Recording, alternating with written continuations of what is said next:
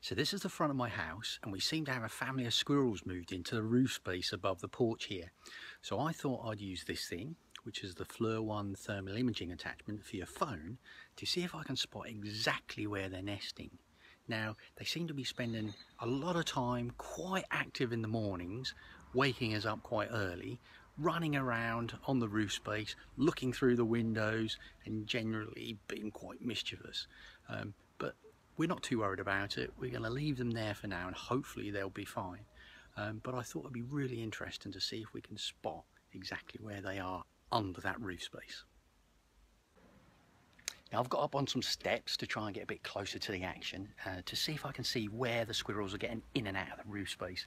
And I'm pretty sure that it's under the tiles here and I can hear them inside.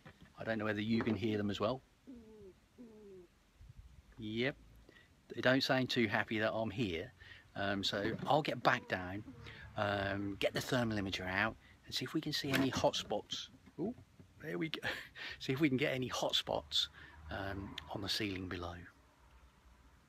I'm now in the porch under the squirrels and if I pan the camera up you can see that there are no obvious signs where the squirrels are.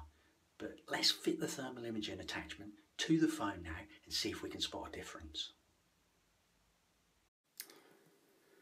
So we switched over to thermal imaging and there's the front door and if I pan around up to the mirror you should be able to see me reflected. Hello! Now if we pan up to the ceiling we can have a look and see if we can see any hot spots.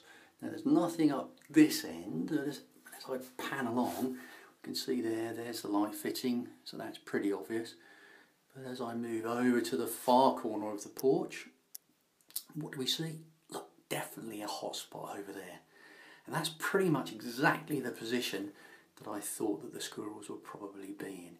So it just goes to show that the FLIR One is really useful for this kind of thing.